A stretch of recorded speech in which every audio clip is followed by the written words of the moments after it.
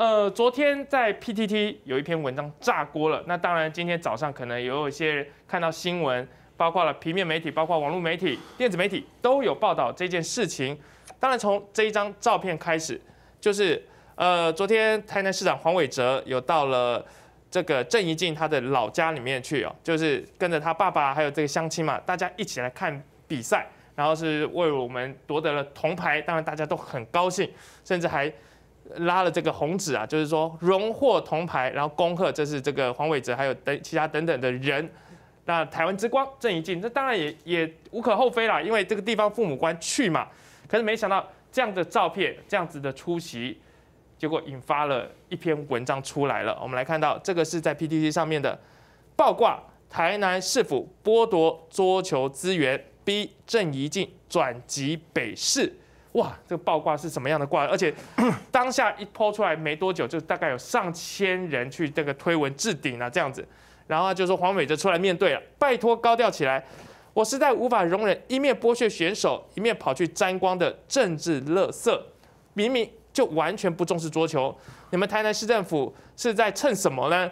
西瓜市长还有脸在自己的脸书上骗赞，我快吐了。你们扪心自问，台南市政府有没有照顾到我们台南的选手？请替。林忠雄老师还有台南市的桌球选手讨一口气，拜托大家了，请老师安心合眼吧。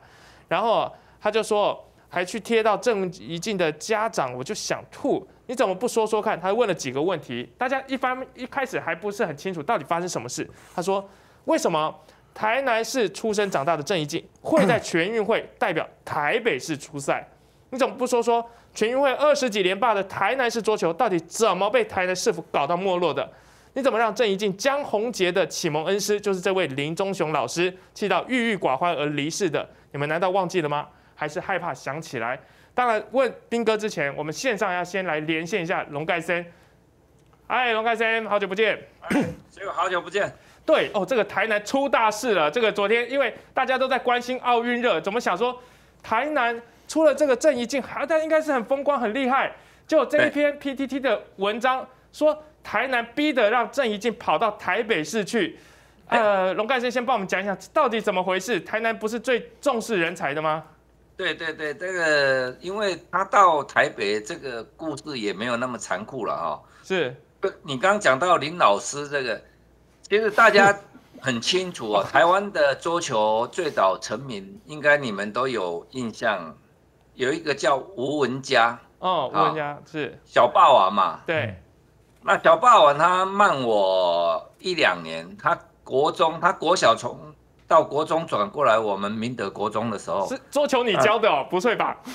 不是，我慢你一两年，我吓一跳。我我是会打了，不会，但是我是业余的啦。我今年还去开球啊。哦，厉害厉害。我跟那个蔡志体育哦，每一年我们都会举办排球、桌球、羽毛球的比赛嘛，哦。那我们是很喜欢运动嘛，那台南也一样。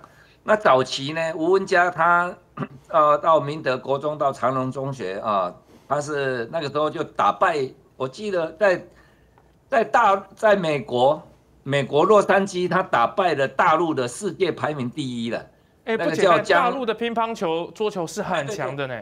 哦，对对对，他就打败世界排名第一的江嘉良嘛，嚯，大放异彩。那林老师他们就是回来，你你知道我们台南以前就是在那个体育场哈，田径场的下面呐，一格一格，他们就在那边当成那个训练中心，很困难的。那大概是苏南城当市长的时候啊，那再来就一直到了许呃施志明当市长，林老师他们委员会就去争取到有一个这个足球馆。桌球馆的训练中心是，那这个已经大概有将近三十年的历史了。哦，他们当然政治人物有一种概念，就是你现在要去蹭热度，我不反对。可是你平时不烧香嘛，那你也不要放火烧庙嘛，对不对？哦，就是说这个场馆你们可能认为没什么，可是各位，所以我跟你讲，你如果有运动过就知道。一个大的顶级的运动员哦，不管你是乒乓球、棒球，或者是拳击，任何运动都一样。你啊到高峰巅峰的时候，有时候你会碰到撞墙期，对，就说你会失去手感，哦，那就会就变成你的低潮来的时候，那你就可以看到这些高手哈，譬如说棒球选手，他会回到小学的棒球场，那他也许他的教练还在，嗯，或是他的同学同才回去当教练，你知道吗？那他就会勾起当年教练在要求他的基本动作的时候，也许他今天是一个小动作歪掉了，跑掉了，但他回去他那个地方啊，他会想起来。嗯，所以这个棒球馆呢，就对我早上哦，就找那个他们这一期就样，以前就林老师就带着这个吴文佳嘛，讲彭龙嘛，哦，讲还有冯胜清嘛，那现在冯胜清是回来当。这个桌球的总干事嘛，那就说师兄弟呀，大家在这边训练，那这个选手他会勾起他的一些回忆，或是情绪上，所以我们不是讲吗？运动员就很强调他的心理素质嘛。嗯，有时候你球技好，你技术好，但是心理素质如果不够，那也许临场表现就不一样。对，所以运动员就是有一种是比赛型的，有一种是训练型的。训练的时候都是全垒打，一上场就三振了。但有一种是训练的时候教练骂的要死，吊儿郎当，怎么这样？可是他一到比赛一上去就拿牌。所以每一个人的状况不一样。嗯，那政治人物你不要想，哎呀，这个其实台南市这个乌龙事件就怎么样？嘿，当时啊，在许天才干市长的最后一，就是要县市合并那一年。那就是县市长延任延了一年嘛，开始规划就认为这个场馆没有赚钱，也没有收入，那还要补助，怎么？就开始构想要把它委外，好，那就合并了，变成赖清德当市长了，哦，还流标了两三次了，那。有两三次，你这可以把它改变，没有结果，在赖清德手上就真的委外了嘛？就真的委外啊！可是这个老师他应该听说他也有极力的争取，说继续的留下来的。对对对对，因为林老师，你知道他一生是奉献给这个桌球嘛，他带的学生都很优秀，后来真的没办法，真的搞到当兵一绝啊！他就把他他跟那个吴文他的大弟子就是吴文家嘛啊。小霸王就他们就筹备了，他好像还弄了两三千万哦，去买了一个地下室，就是东区在东门路这边。嗯，他们就直接，我跟你讲，包括现在庄志渊，你看你这个奥委会真的是有够乌龙的。那他们这些选手，这些比赛型的选手，他们是靠着自己的奖金拿来填补后劲，然后培养新的运动员。小朋友啊，现在 七八岁、五六岁，他们就从这个基础就开始训练他，他们不求回报，一代传一代的。那林老师就因为，他当然很伤心嘛，因为这个地方是全，我跟你讲，台湾哦，当当时这一座是唯一是国际标准的场地，全台就这一座，对，就是国际标准的场地啊。所以这对台南是为什么我们在。全国运动会我们可以二十三连霸桌球，哦，这个是有有这个原因，因为有好的摇篮呐，哎呀，对，那黄伟哲市长当然他我看他有回应说这个不是人不是他杀的，哈，对，一直说不在我任内以外的事啊，对，不过我今天有因为今天议会有开会，那他是接受别的议员总执行了，我是本来我有跟新闻处长你要跟市长讲，现在。这个时间，因为那个委外那个已经违规了。好，那现在市市政府手上找了，好像中校国中在托管。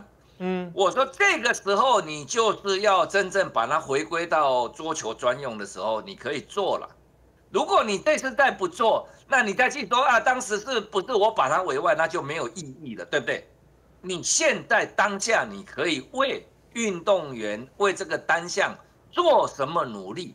你是可以做的，那如果你今天没有做，那你就不要怪网络上在说你你不关心，然后人家拿了牌你去拍照，所以这个时候当然把他委外不是黄伟哲的责任，可是黄伟哲，你可以做的更多，你可以真正在这一次他呃郑一静拿到奖牌以后，那你可以为桌球运动做一个扭转，而且事实上桌球也确实是台南单项运动的一种呃非常有光荣历史的一个单项运动。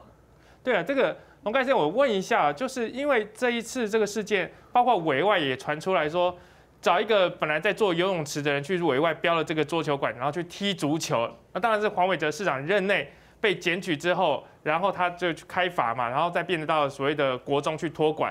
但我刚才看到一个讯息，因为网络上一再流传说，怎么会在这个时候爆出这样的一个事情？有大家会有一些政治的联想啊，会不会是？有人因为明年要选这个等于六都的市长嘛，这时候要杀黄伟哲。然后另外一个消息是我刚刚看到陈廷飞讲话了，他说对于发生这种台北市，他呃郑义进转机到台北市，他觉得很心痛。我不知道你怎么看这种事，因为有很多的揣测，很多的联想，说是不是民讲自己的派系在互相厮杀了。呃，有一点这个味道了，所以我你看我我们刚刚在评论，我先把事实让大家知道这个背景嘛，哦，那这个背景事实上是在赖清德手上委外出去的嘛，啊，那你委外以后，不过既然你市长要去邓一进家献上你的慰啊，就是说你的祝福，那倒不如你就把这个场馆再交给桌球委员会来耕耘，因为。我跟你讲啊，以前是这个委员会，他他们没办法维持了。如果我今天就是都不讲话，也不出力，我就把你好，那你桌球委员会，我把这个摊管，我跟你光是那个灯打开哦，他们就付不起了。哦，那那灯打开，他们就付不起钱了，因为那个灯哦要很亮的探照灯，类似探照灯那一种的。对，那你如果要维持一系列的。呃，这个选手都在这边做基础训练的话，那个电费啊很贵，所以以前我记得，呃，这个我们体育组有补助这个委员会，就是在这个场馆的时候还没有委外的时候呢，每一年补助他们两百万。是，后来他们以为说，我既然这边要委外，对不对？那林老师就跟他们吴文佳他们去东。东门路那边又找了买了一个场馆，是开始训练了，啊，两百万补助不见了。哦，他说我是因为你这个场馆，然后让你在这个场馆的针对这个场馆在这边做训练，补助你这个委员会，哇，结果他场馆没了，他另外花钱去买的场地，结果连体育组的补助也没了。哦，他们更。更是雪上加霜在经营呢，所以你说台北市如果有更好的条件，如果今天你你认为这个选手可以在北，假如你是教练，对，你会做什么选择？我跟你讲，我还是会把孩子送出去，嗯，一定的嘛，对啊，因为我知道你有天分嘛，那在我这个池子已经养不活你了嘛，那大家是很拼呐，可是我跟你讲，钱不是万能，但没有钱真的万万不能啊。所以整个活动啊，招经理啊，所以我今天才会说，黄市长他可以做的更多。这个时候，如果你做的更多，那你就不管政治斗争了。哦，你这个时候只要做的更多，你依然会得到掌声，对不对？就是这样嘛。那如果你也不做，那你就不要怪人家斗争你嘛，因为你现在是行政权在你手上，你是市长，而且这个场馆已经收回。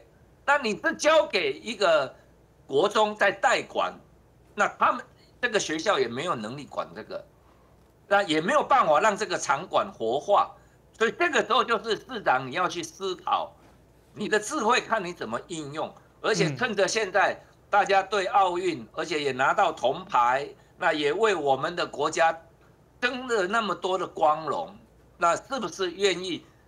我想以台南市的预算要帮助这个单项，而且是可以拿奥运奖牌的单项，台南市做得到，那就看市长他智慧如何去化解。你不能只说啊，这不是我任内为外的，对，确实不是你任内为外，可是你现在这个当下要处理这个事情，符合国际标准的场馆，你愿不愿意投资一点点，让后续的这一些选手可以有一个稳定安定的家？我我讲过了，如果你是运动员，你就知道这个窝这个老巢，可以当你状况低下的时候，你碰到低潮，你可以回到这边来寻找你的记忆。